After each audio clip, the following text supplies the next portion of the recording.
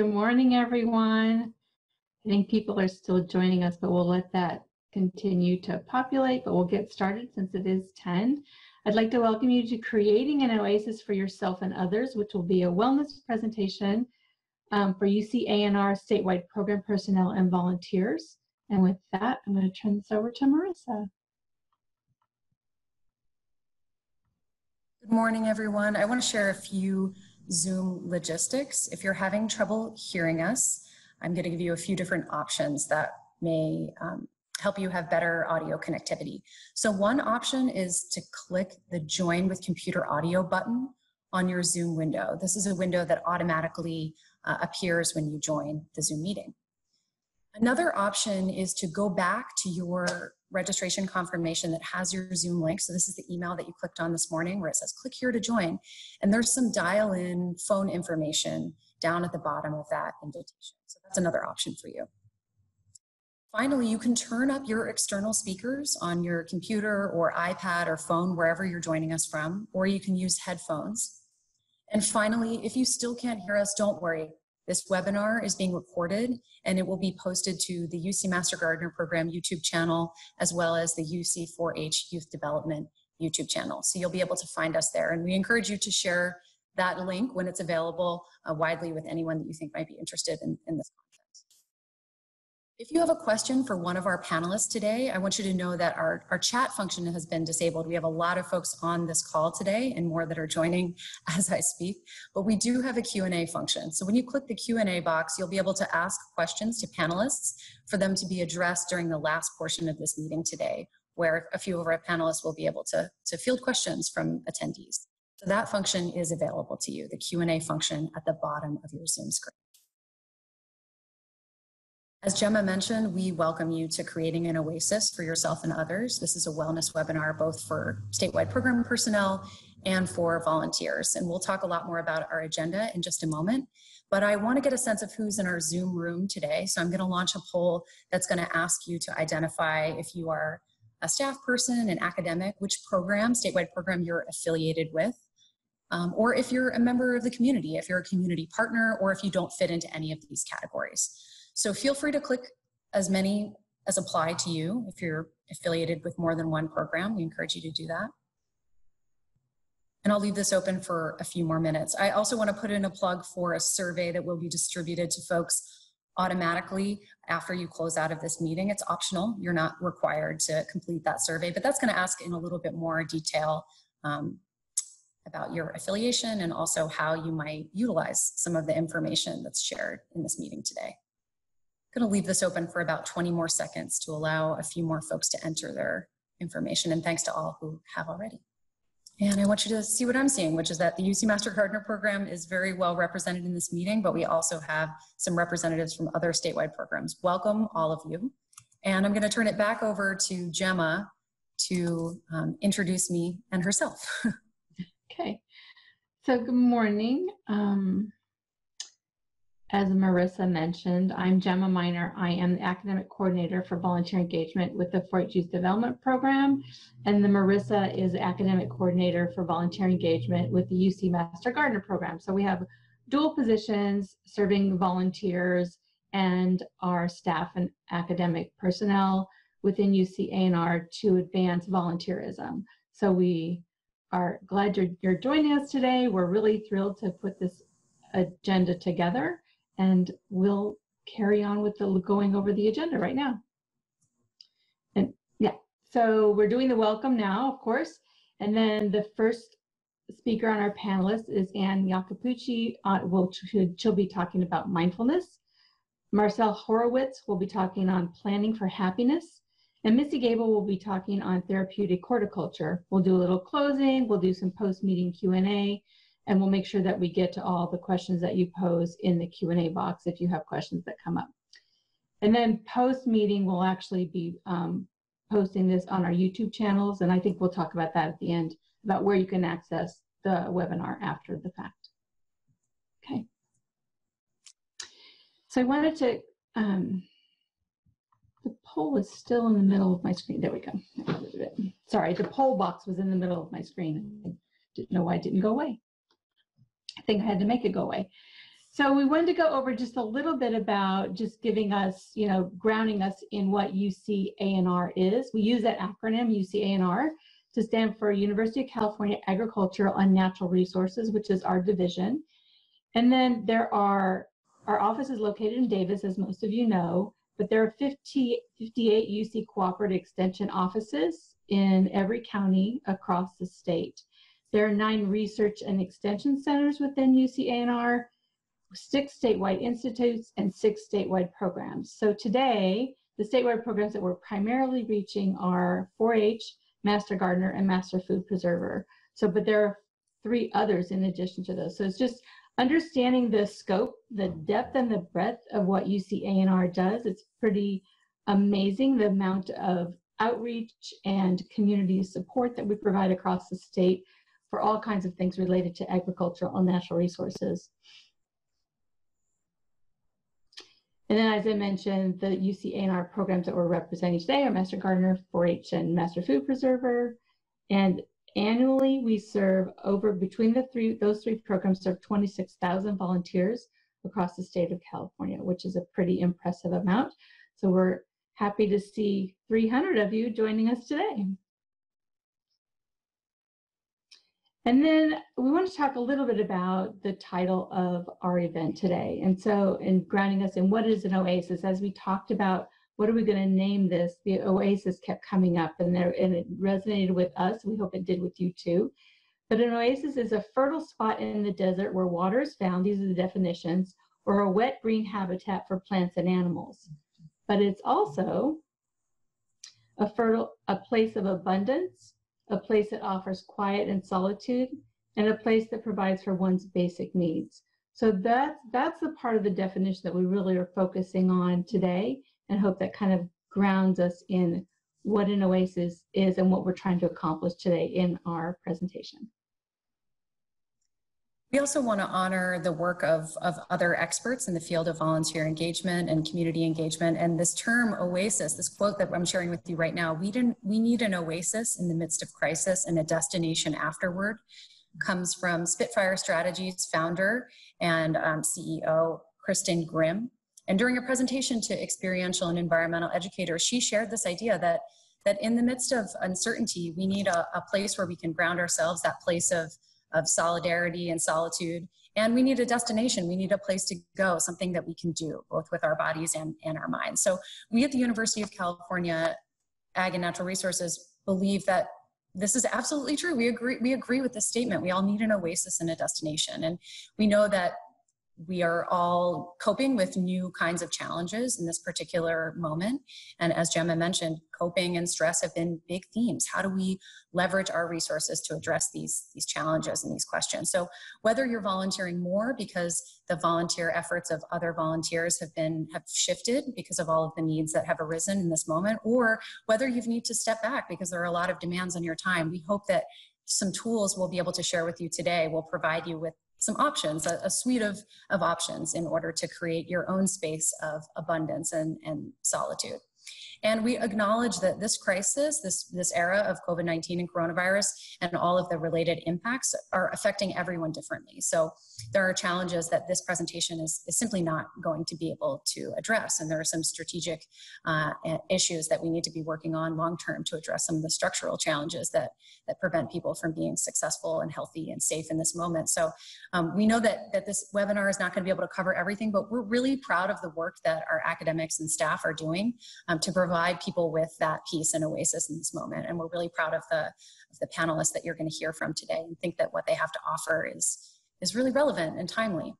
So you're going to hear from three speakers today, and I'll turn it over to Gemma to introduce us to the first speaker. And I want to give a, a, big thank you to them before we even begin. So much appreciation. I know that everyone is joining us from perhaps an environment that isn't usual for them, and that's the case for our speakers as well. So we really appreciate you carving out this time to share with our volunteers and staff and academics. All right, so it's my pleasure to welcome Anna Iaccopucci, who's an academic coordinator at the University of California and her work focuses on developing, organizing, and evaluating health programming in Extension. She has many hobbies that include running, playing music, and cooking. However, most of them have taken a back burner as she's primarily occupied with chasing her four-year-old son around, and she's loving every minute of that. But it speaks to that whole um, how this the pandemic has impacted many of us as we try to manage and balance working at home and also managing our families. And yeah, so Anne's going to talk about being mindful in that space.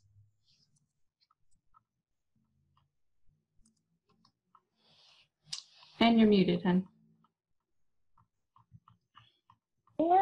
There we go. There we Okay, go. my goodness. All right. So uh, thank you, Gemma. Uh, yes, my name is Anne Iaccopucci, and I um, primarily work on um, healthy living programming in um, our youth programs and extension, so in 4-H and in our nutrition education program. And over the past few years, um, myself and a subset of colleagues have really been looking at this idea of mindfulness and how mindfulness can help boost our physical, social, emotional health. Um, so I'm thrilled to be presenting some of the science behind mindfulness and how mindfulness can promote healthy people and healthy communities. Um, when you know we think about the, the term mindfulness, it's becoming much more popular these days, um, and we, we hear it a lot more in, in the past several years. So I want you to just take a minute and think about when you hear the word mindfulness, you know, what do you what do you think of? I want to invite you just to um, kind of reflect on your own definition of mindfulness.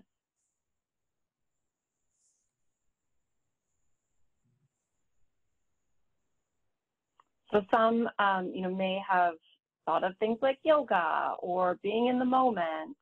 Um, most of those things are all part of uh, a mindfulness. So um, we define mindfulness as noticing and being. Um, so defining mindfulness.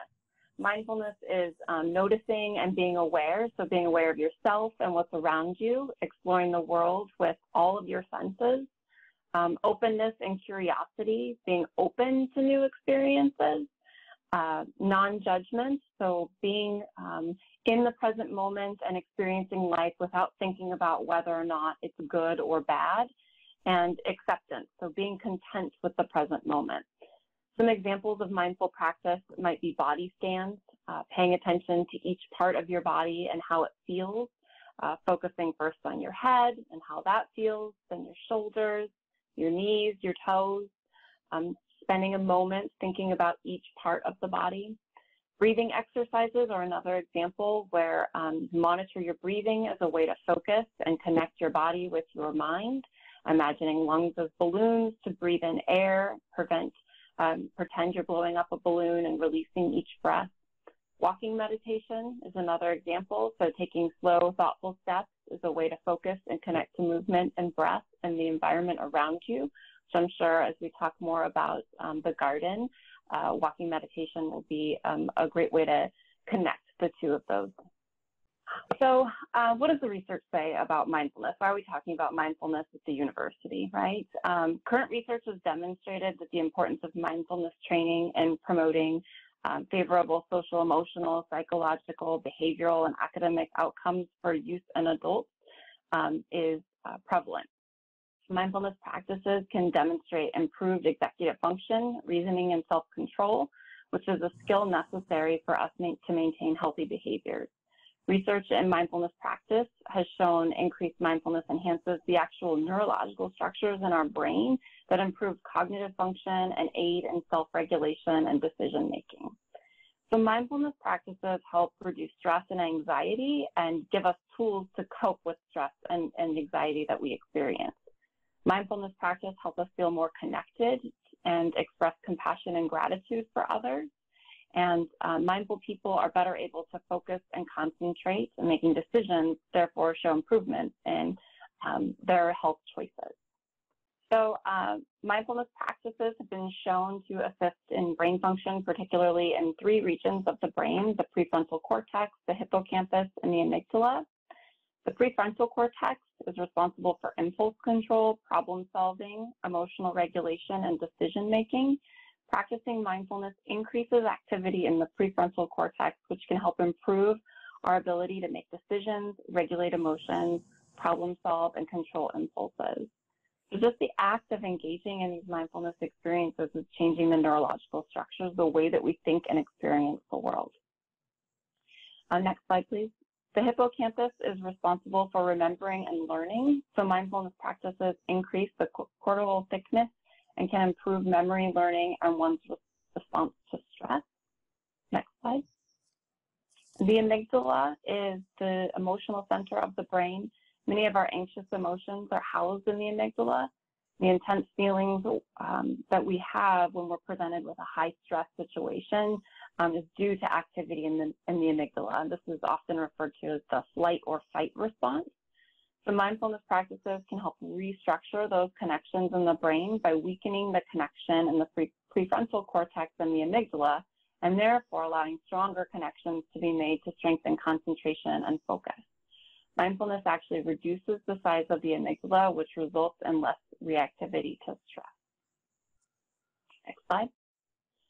So mindfulness is, if mindfulness is so great, why don't we all just do it? Well, we get distracted. So um, you know, if you've ever found yourself staring at a screen, forgetting what you were doing because you were thinking about something else, this is an example of not being in the moment, right? Mindfulness takes intentional practice and structure um, around setting intentions and goals for ourselves.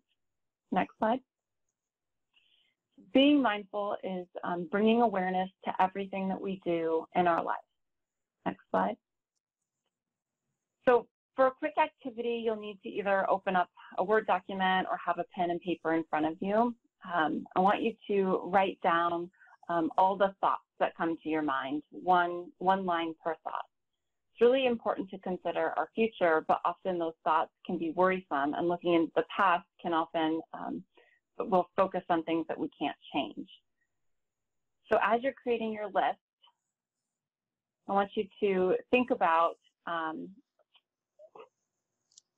identifying each of these as either past, present, or future thoughts. I'll go ahead and do this with you. Let's take just a moment.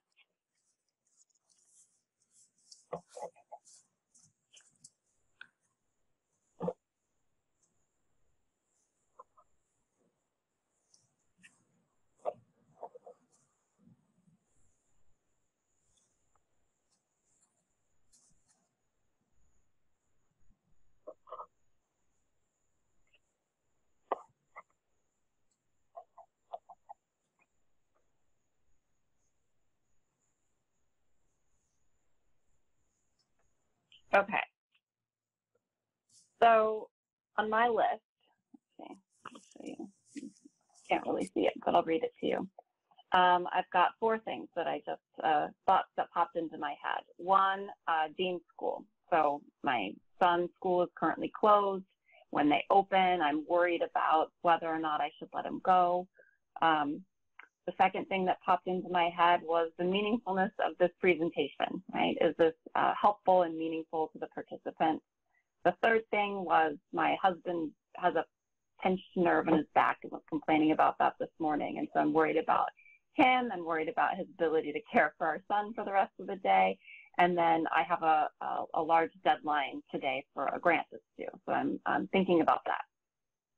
So on each of those items, what I want you to do is either label them as a P for a past, a thought that's consuming something in the past, an N for a now, something that's happening in the present moment, or an S for something that's the future. So for example, I'm concerned about Dean School, that's gonna be an F, that's a future worry. Meaningfulness of the presentation, that's a now, that's a now thought. Uh, we're currently here. Um, Dan's back is probably a past, and grant due date is a future, right? So out of those four thoughts that popped into my head, only one was really in the present moment, right? So this week, try to keep your focus on the here and now and enjoy each moment while you're engaged in it. So as you kind of take inventory of where uh, your thoughts are um, and, you know, identify whether or not uh, you, you've got a lot of thoughts focused in the past, in the present, or in the future. Um, and, you know, where do you see your thoughts mostly focused? How might you increase your now thoughts for the rest of the week? So take a minute and write down one strategy that you'll use to stay focused in the present moment. Okay. Yeah, that's the one. Um, So I just wanted to give a, a, moment to provide you with some of the resources that are available through the university around mindfulness. So the University of California 4-H Healthy Living um, program is really focused on providing learning opportunities that address health in the holistic sense, so the physical, social, emotional, and mindfulness practices really do connect each of these domains. So um, we have developed a curriculum for children ages five to eight that introduces them to mindfulness concepts, mindful eating, affirmations, identification and moods and emotions, being present in the current moment, and yoga. And this uh, curriculum is available through the uh, 4-H Online. We've also, um, next slide, developed um, some videos that are available uh, through eXtension for free. So in light of the shelter-in-place orders, we've developed this virtual component uh, where youth can participate in adapted lessons and have um, book readings um, that are all around topics of mindfulness. So these videos are available through eXtension, our learning management system, and are offered to youth and families um, in California for free. We also have the um, uh, annotated bibliography of children's literature. So uh, this resource and linked here can take you to several books, uh, children's books that are all about mindfulness. And next slide. And um, for those leading 4-H projects, we have the 4-H Mindfulness Project Sheet that provides suggestions for scaffolding programming from beginners to advanced. And we also offer training um, in delivering a yoga project as well as first aid youth mental health training. And that is it. So if you've got um, questions, it looks like this slide um, gives you the link to the e-extension and the Enrollment Key California for um, the uh, virtual Mindful Me lesson. Great. Thank you, Anne, so much for sharing yep. your insights on mindfulness and good luck with your grant writing today. I know you're going to stick around for a little while. So, all right. So then it's my pleasure to introduce Marcel Horowitz. And Marcel is the Healthy Youth, Families, and Communities Advisor for Yolo County. She spent the last six years focusing her professional development by doing grounded theory research in the area of positive psychology, although we call her the happiness advisor. and I think she's going to talk a lot about that today. So it's a Positive psychology is a fancy way of saying she read a lot of books, took a bunch of classes, and listened to a myriad of talks while schlepping her overstuffed, beat up SUV from campsite to hostel to yurt across the western United States to find out what makes people and places happy. So, Marcel, thank you for joining us today. Thank you, Gemma. I'm, I'm pleased to be here. Um, I just want to start off by saying, what do I mean by happiness? Because a lot of times I use that word and people go, oh, isn't that kind of cute? Um, but what I'm talking about is this sense of positive psychology, is what they call it, sort of in the in the academic field. And there's been a whole slew of work on depression and negative psychology, and only recently have people started to think that, hmm, maybe we should look into what makes people go to the positive side of their emotions. So when I use the word happiness, that's really one of the only words that we have to describe a positive mental state. We have a whole slew of them in the English language for sad and depressed and anxious and unhappy. We only have a few for happy, joyous, blissful. And usually when we think of those things, we're thinking that we're smiling all the time and we're in a great mood. And that's not really what I'm talking about. That's just not realistic and not how our brains work. What I'm talking about is just a sense of contentment, a sense of peace, um, and really to just not be on that negative side of your emotions on a daily basis. Um, this is definitely very relevant right now. I know that I'm struggling on a daily basis to balance the news feed uh, with my own internal dialogue of, of where things are in the world. So all we're hoping for is wherever you're at, so that we can get you a few steps closer, closer to being happy and content.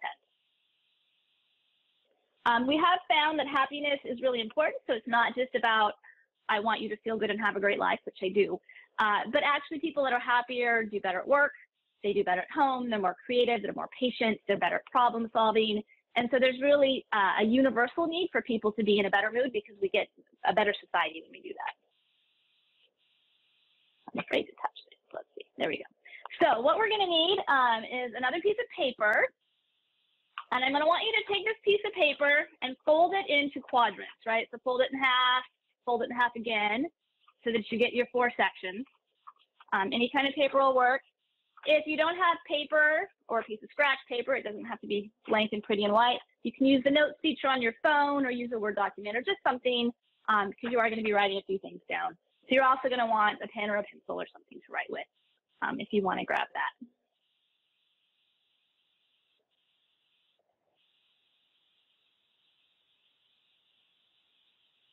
All right, so in the first thing we're going to talk about is how much of your happiness do you think is predetermined?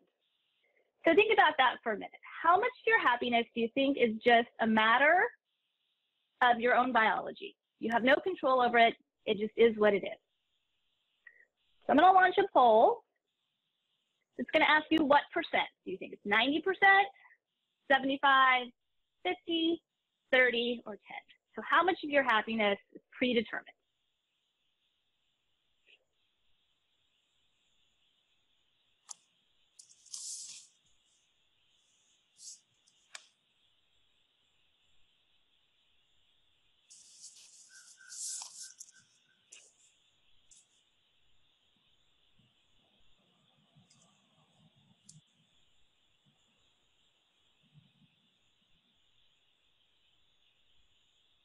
like some of you over there Googling the answer to trying to find out the right one.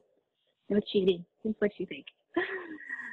okay, I'm going to go ahead and close the poll right now. Share the results.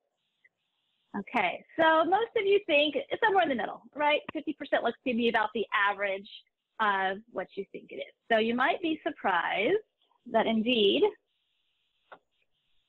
oh, we keep screwing this up, Marissa.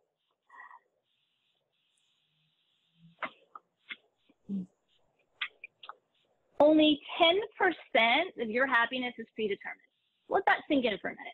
All of the stress you're feeling, all of the anxiety you're feeling, all of the chaos is 90% within your control. Now, that doesn't mean you can control the world. That doesn't mean you get to stop the crazy stress that's out there. What it does mean is that you do actually have control over your own thoughts and that your thoughts are what control your emotions.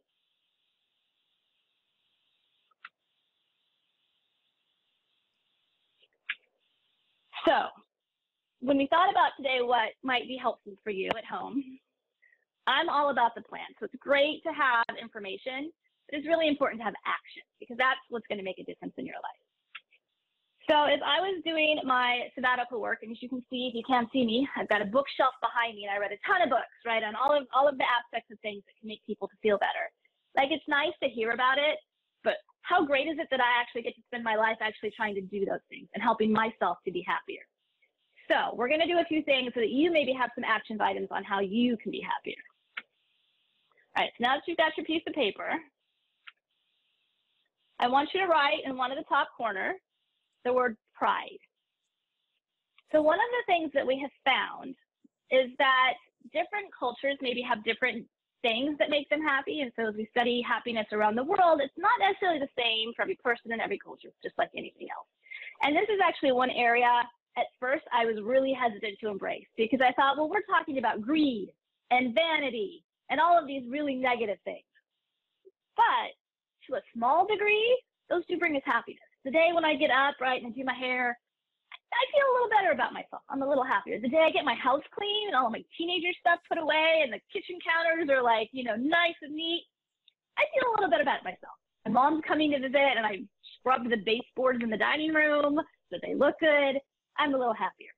But everybody has a different sense of what makes them happy.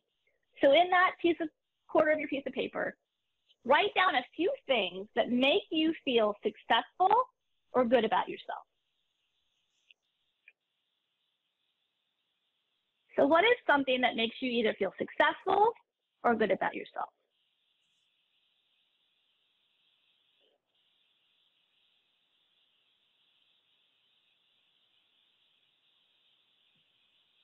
I mentioned, you know, a clean house, nice decor. Um, I have a child, so raising a, a well-rounded child is a sense of pride for me. Um, many of you are gardeners, right? So your beautiful garden, um, being able to grow that one plant nobody else could grow might be a sense of pride for you. Um, you might have a skill like cooking or painting that brings you some sense of pride, whatever it is. It can be a million different things. Just jot a few of those down.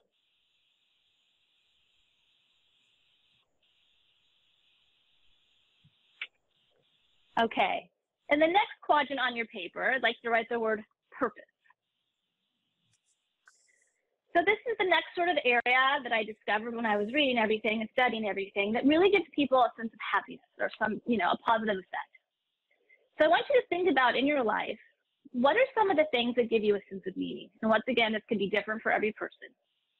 But as you're thinking about it, usually it's something that involves somebody else. It could be greater society as a whole. It could just be your dog that wants to go for a walk. So what is something that motivates you to get out of bed? Uh, what is something that maybe you would sacrifice money for? What's the charities you're willing to give to or the items you're willing to buy for others? And I find for myself that I've really figured that out this out on what angers me most in others. When I'm watching the news or reading my Facebook feed, when am I getting really upset with others because maybe they're infringing on what I think is is a purposeful endeavor. And if you're struggling with thinking about something, think about something you might like. Um, if you don't really currently feel like you have a sense of purpose, what is something you might be able to add to get to that?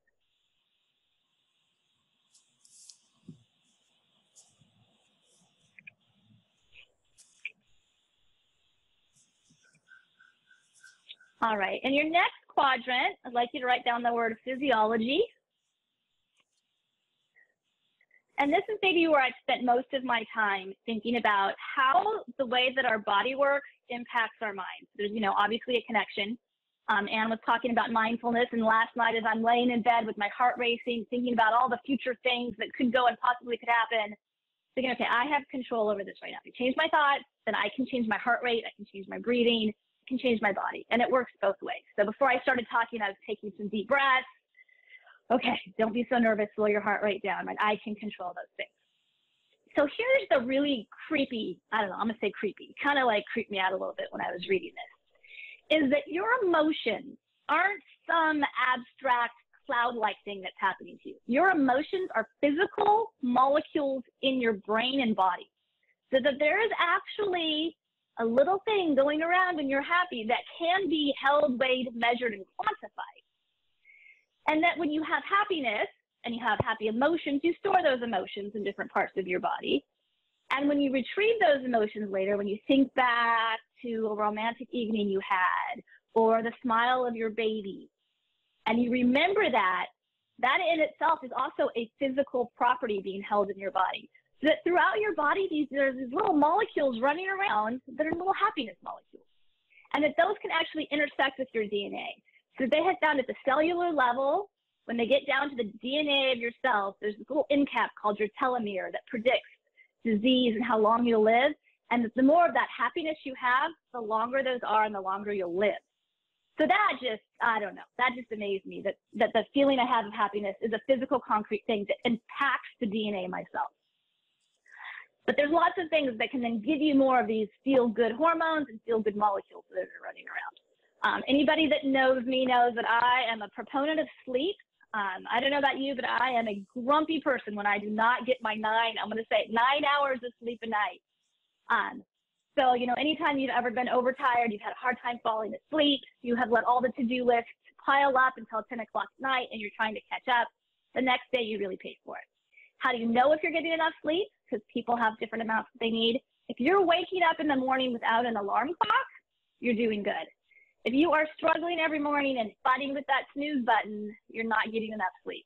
Start putting your bedtime 15 minutes earlier until you're waking up on your own. The next thing is eating. The food that we eat, we know can directly impact the hormones in our body and our. Um, so we know that things like healthy fats, fish, um, liquid oils, nuts, avocados actually improve our mood as does fruits and vegetables, which are, you know, the panacea for everything. And they've also showed a link between highly ultra processed junk foods decrease your mood. So it's kind of ironic that usually when we're stressed, we go to those highly sugary processed foods, uh, but in the end, they tend to make us uh, less happy. Moving is really important. So every day, I want you to be thinking about how can you move, what can you do with your body, Um, if you can stand instead of sit, I have a standing desk, so I move around when I when I'm working. You can walk instead of stand. If I can take a call outside on a walk, I'm doing that.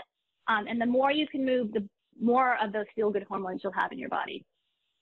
Sunlight, you need to be exposing yourself to sunlight every day. I'm forcing myself right now, lunch, lunch outside, so I know I'm getting my 15 to 30 minutes a day with no sunscreen um, so that my vitamin D levels are, are high.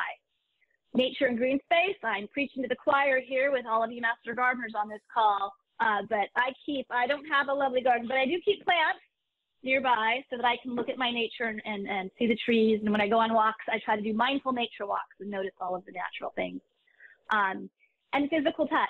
That's kind of maybe one of the things we're missing right now with social isolation. But making sure that we can hug those that we can, we cuddle our pets when we can, are more important. So thinking about those areas, I'd like you to think about maybe what you're struggling the most with right now. Now that you're socially isolating, you're maybe working from home, which of these areas is not something um, that you're getting to on a regular basis that maybe we should focus on a little bit tomorrow, the next day, the next week. So once again, those were adequate, adequate sleep, healthy eating, moving as much as possible, getting sunlight every day, exposing yourself to nature, and physical touch.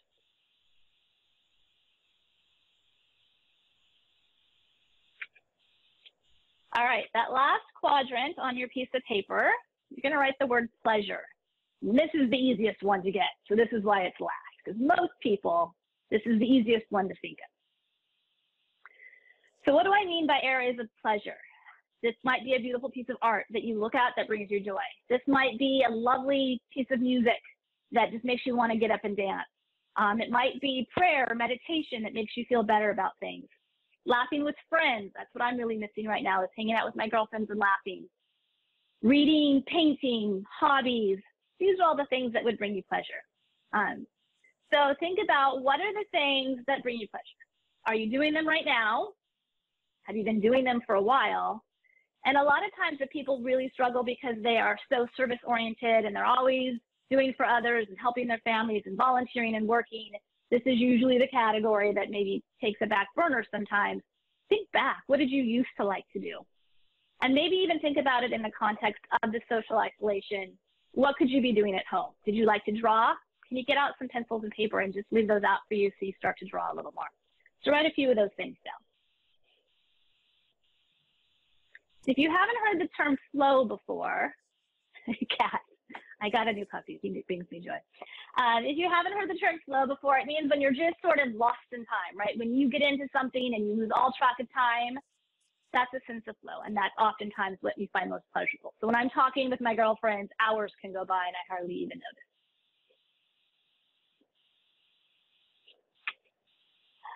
Okay, so in each of those areas, you have some things. And I want you to think about which one has been the most neglected. So I'm going to launch another poll for you. And I'd like you to think about this personally. Which of these four areas, pride, purpose, physiology, and pleasure, have you been neglecting the most in your life recently? In other words, where can you maybe gain the most benefit for improving your happiness right now? Because you just haven't found or made the time to focus on that. And after you answer that, I want you on your piece of paper to think about some real concrete things you can do tomorrow or the next day in those areas. So add it to your to-do list, add it to your schedule. Make that time for that 15 minute walk, make that time for that phone call to a loved one. Get out the pen and the pencils to start drawing.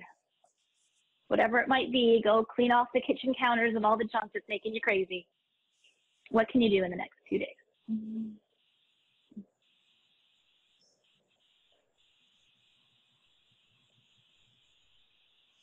Okay, I'm gonna close the polling and share. So it's pretty split, but it looks like that sense of purpose and physiology, right? It's always easy to, to forget the healthy foods, the sleep, the exercise. Um, and right now might be hard if your sense of purpose has been something outside of the house. Um, you know, if you've been volunteering out somewhere and you can't get out right now, that you might be struggling with that a little bit. So how else can you adapt that to help people still with the things that you're passionate about?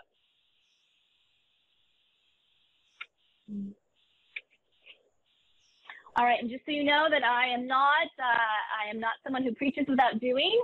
So this is actually was our to-do list for last week, um, and I had it divvied up into the four areas. Uh, the last one is screens for my teenagers. So we are very conscious of that. Yes, you can have your screens because we know you love them, but there is a time that they get turned off at night because moderation, of course, with everything is crucial. Um, so I, I practice, and I will say it has helped me a lot over the years to implement more and more of these measures into my life. So hopefully it helps you too. Thank you. Thanks, Marcel. That was a great presentation. Need, definitely need to up my game in the P's. All right, Marissa.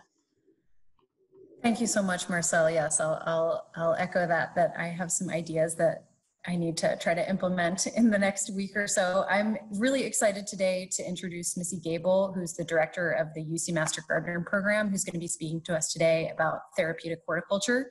Uh, Missy Gable has been the director of the UC Master Gardener program for over six years and has a real passion for providing people with opportunities to put their learning to work in their communities in a variety of different areas, whether it's pollinator habitat or uh, healthy landscapes that utilize native plants. Uh, Missy has a lot of great information to share. So we've talked about the mind, we've talked a little bit about the body and the immediate environment, and Missy's now going to be talking to us about the environment outside of the home, um, or maybe on your on your doorstep.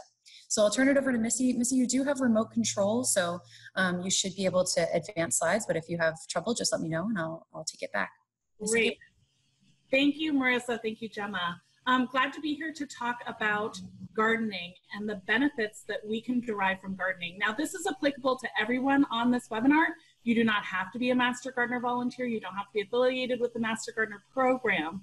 Um, I want to give you some information about how and why gardening specifically is a healing modality that I'd love for you to take advantage of right now. All right, so I'm going to start um, by just going through a series of images. I'm going to give each image just a couple seconds, and um, my ask of you is that you just look at the image, appreciate the image, and then try to, you know, try to collect any feelings, um, both physical and or emotional changes that are happening to you as you look at these pictures.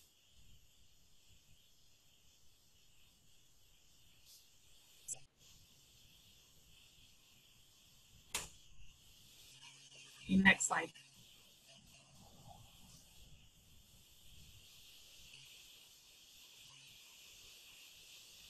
Next slide.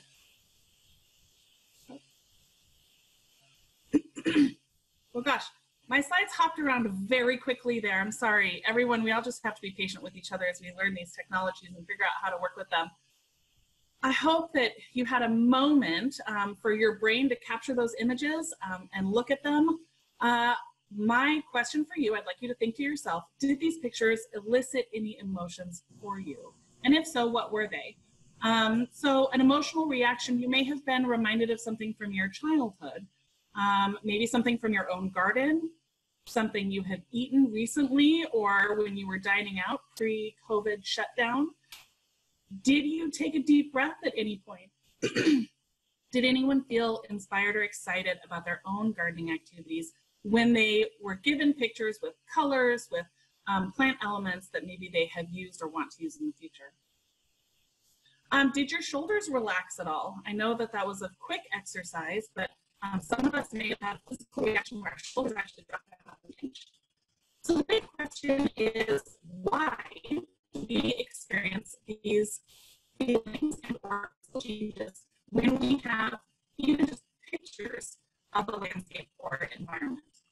Marissa, next your audio is a little bit garbled, so I'm not sure if if there's something that you can control on on your end. It was just the last few sentences that were hard to hear. I'm going to go ahead and advance the slide. I'm so sorry, everyone. I'll try to talk more slowly. That might help. All right. And if you have any other windows you want to close, it sounds like your bandwidth is um, decreasing. Hmm, that is not a good sign. No. All right. Okay, everyone. So the question is, why do we experience physical and or emotional changes or reactions when we even look at pictures of gardens and or landscapes. So gardening has intrinsic health benefits. And what we want to talk about here is the therapeutic benefits of gardening. We're not talking about horticulture therapy, which is actually a medical practice um, where a therapist, an individual who's trained um, in using horticulture and gardening to apply mental and physical um, therapies to people, that's that is horticulture therapy. We're talking about simply how gardening has health benefits and why. And so I'm going to start at the beginning. Um, wherever and whenever you believe that the first humans um, arrived on this planet, we know that those people had a close connection with plants. There was a people plant connection that meant survival. For those people who were able to find plants, they were able to provide themselves and their family with food, water, and shelter. So plants to humans uh, are survival. Plants mean survival. The vestige of that historical connection that we've had with plants is that when we are gardening, when we are outdoors, or even when we're just appreciating an image or a view through a window of a natural landscape, we have physiological changes that happen in our bodies and we report mental changes as well. So, for all of these reasons, today we can use gardening as a mode for healing and introducing healing practices into our lives. Next slide. Thank you. So, we'll start with talking about physical health. when we are gardening, I think physical health is the easiest concept to talk about when we talk about health benefits of gardening. Um, when you're gardening, uh, think about that activity. You're bending, you're stretching your body, you're working on your joint health with those movements, you're working on your flexibility. Um, we often use um, applying gardening techniques like pruning and um, planting uh, with um, in in skilled um, health facilities where people need to work on their fine motor skills. Um, maybe they're in occupational therapy. Uh, we can use gardening in those contexts because gardening helps to promote fine motor skills. Uh, gardening is considered a moderate physical activity for most people. Uh, so we do have research that shows that gardening over an extended period of time can actually ultimately lead to a decrease in BMI as well. So there are tremendous physical benefits um, to gardening and using it as a recreational activity. Other physiological changes that happening that happen when you're gardening, um, and this is also when you're simply viewing an outdoor landscape. Your blood pressure goes down, your heart rate goes down, and muscle tension is also reduced. So really incredible changes that are happening. Those reductions that are happening internally also are a big factor in why we experience some mental health benefits to gardening. Next slide, please, Marissa. All right, so first and foremost, um, when it comes to mental health, I want to share that people who garden report feeling happier almost immediately when they begin um, gardening and or using that as a therapy in their own lives. So gardening, the reason behind this is because gardening actually increases the serotonin hormone in your body. Um, that's your happy hormone, and it decreases the hormone noradrenaline. Um, uh, Anne mentioned earlier the amygdala and the fight or flight response. Noradrenaline is associated with the fight or flight response, and again, that hormone is decreased when you are gardening. Uh, a great example of these hormonal changes are actually from research uh, in prison gardens. In prison gardens, we see uh, a decrease in violent and physical tendencies between inmates who garden. We also see the highest rates of communication um, between individuals that have a different ethnic or race identification. We also see the highest rate of communication between different gang members or people with gang affiliations. So really incredible benefits that are happening in these prison gardens. And a lot of that is attributed to this change in hormonal levels. Um, we can also look at the long-term impact of these prison garden settings. Um, I believe, I don't have my note right in front of me, but the, um, the statewide recidivism rate, I believe, is approximately 67%. Um, but for those inmates who participate in gardening programs, the recidivism rate is only 10%. So it's a really incredible um, intervention that gardening can bring to those people's lives. Um, gardening also shows generally improved emotional well being. When people garden, they report a reduction in mental fatigue, they report a reduction in stress, fewer mood disturbances, and then reduced feelings of anxiety. Uh, there was a recent study uh, that I saw this week that shows that gardening has a similar effect on the body as biking, walking, or dining out. And finally, gardening gives people, and I think most of us here can talk to this, um, they, it gives us a feeling of purpose, expectations for the future, um, enhanced productivity. It plays into happiness, as Marcel was mentioning. A lot of us find purpose um, and, and, pursue happiness through our gardening activities. Um, so these are just some of the mental health benefits uh, associated with gardening. Next slide, please, Marissa. All right, so looking to the future, what do we do with this information? We have a lot of gardeners on this uh, webinar right now. You may have a lot of non-gardeners, people who are interested in it. Again, when we talk about using garden as a mode for healing and creating healing interventions in your life, you don't have to be a great gardener. You don't have to have a self-prescribed green thumb in order to take advantage of this. Gardening can take place on a patio with one container um, with some soil and a plant. Uh, it can also take place on a large property. Um, please, I would encourage people to look at garden gardening as an opportunity to introduce more healing activity into their lives right now. Um, so start or continue to garden. Again, it doesn't matter if you're in a rural or an urban environment. Um, it does not matter if you um, uh, don't have access to the traditional tools.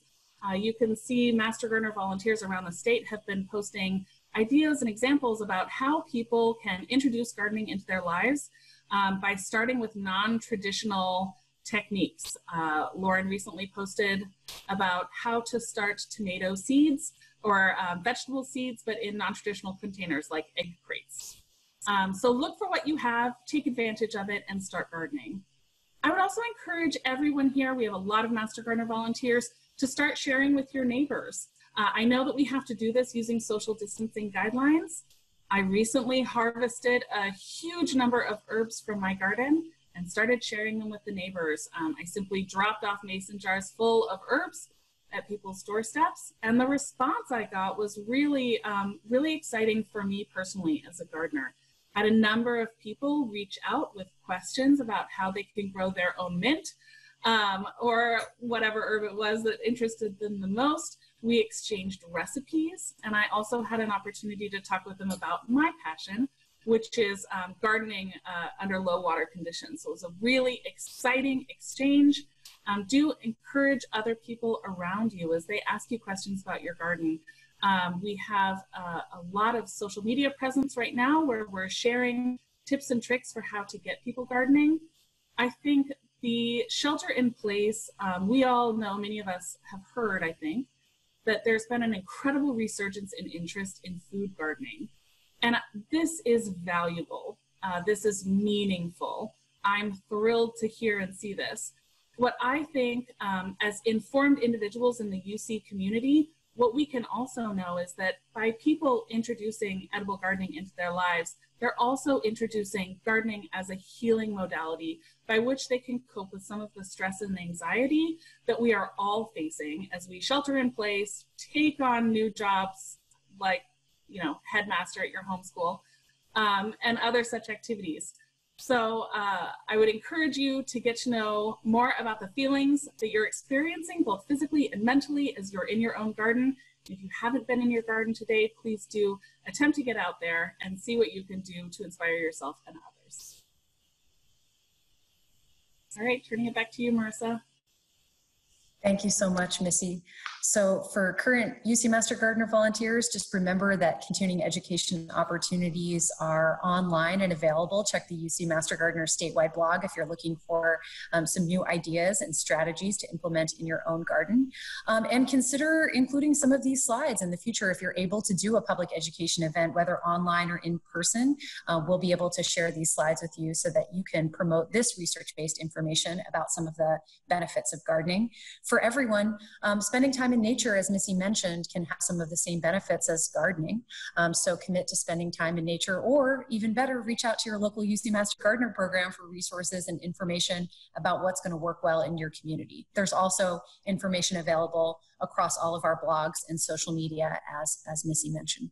So with that, Gemma and I want to say thank you to our amazing panelists. Thank you to Anne. Thank you to Marcel. Thank you to Missy for sharing these strategies for um, creating an oasis for yourself and others. And of course, we're not talking necessarily about that physical oasis, but we're talking about creating that space of calm and that space of abundance within your own life, regardless of the resources that you have available to you in the moment. And we also want to thank all of you for joining us today. A recording of this event will be available on the UC Master Gardener Program and UC 4-H Youth Development Program YouTube channels.